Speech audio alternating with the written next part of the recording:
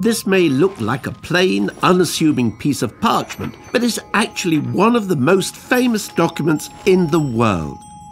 Magna Carta, meaning the Great Charter, has inspired people across the centuries, from Thomas Jefferson to Mahatma Gandhi.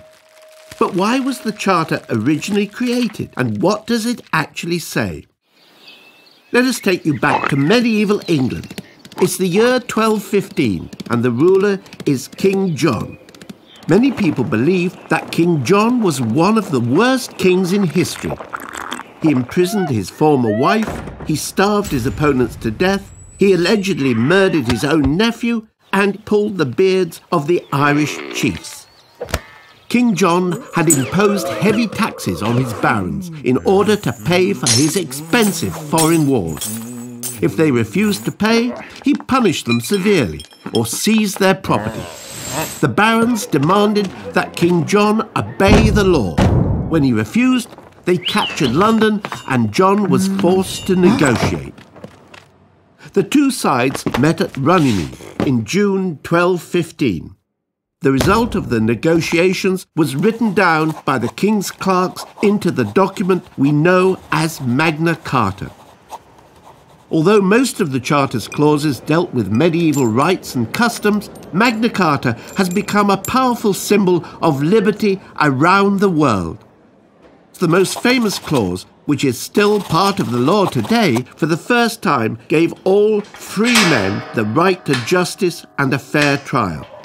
No man shall be arrested or imprisoned except by the judgment of their equals and by the law of the land. To no one will we sell. However, this no clause was not as liberal as it sounds. The Charter only applied to free men. The vast majority of people in 1215 were unfree peasants who were ruled over by their landowners. And although Magna Carta was intended to create peace between King John and his rebellious barons, England was plunged into civil war after the Pope declared the Charter invalid. When King John died of dysentery in 1216, nine year old Henry III took to the throne.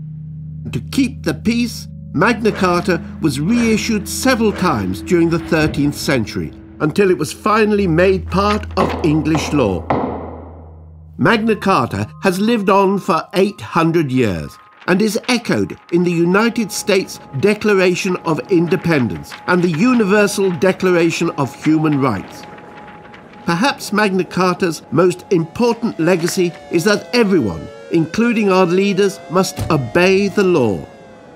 What started out as a document of specific complaints from a group of barons has turned into an international symbol of liberty, without which we might not have the rights we value so much today.